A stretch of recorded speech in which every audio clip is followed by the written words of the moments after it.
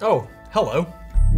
I'm Derek, and this is GWN. Now, that is an abbreviation for Geek Week News, but it's not an acronym like most people would think. It's actually an initialism because you cannot pronounce it.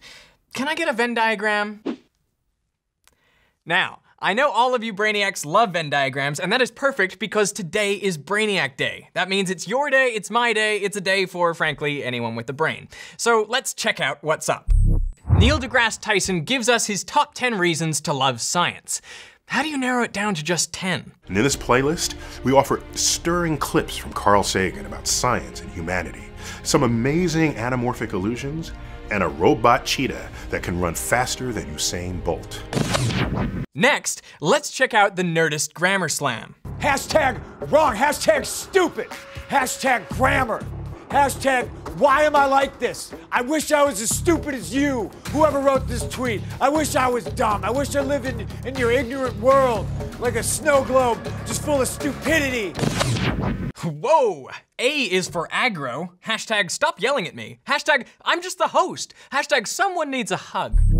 Now we're taking you back to your childhood and into the ball pit as Head Squeeze experiments with the high fall.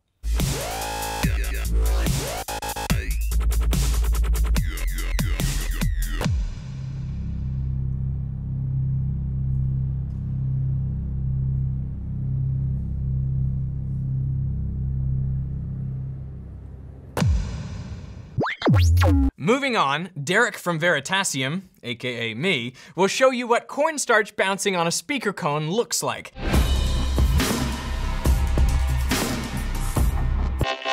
Oh, non-Newtonian fluid.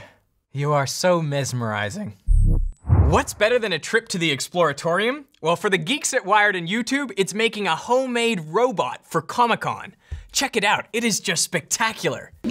Wow! This is beautiful! Sorry, I can't hear you. What's up? These guys built this in 24 days, is that right?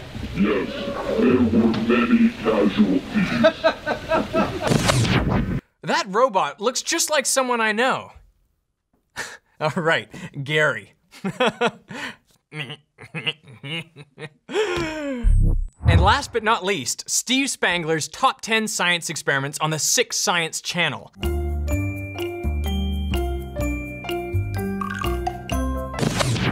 Well, that's all I've got time for now, but there are more Brainiac videos to check out on the YouTube Spotlight channel. So tune in tomorrow for all things super. Natural, heroes, weird, you get the idea. I'm Derek the Science Guy. No, no, wait, that's taken. I'm Derek from Veritasium. And, and now can I tell you guys about that cornstarch and water experiment? See, the thing is, the cornstarch particles are actually suspended in the water. Hang on, is, are, we're not done yet, because I was gonna tell you about the non-Newtonian fluid. It's all about viscosity. What's really surprising is how the viscosity changes depending on the shear stress which is applied to it. I swear you guys told me we had an hour to do this. Sorry. What? Come on, this is Geek, it's Brainiac Day. Oh, guys, come on.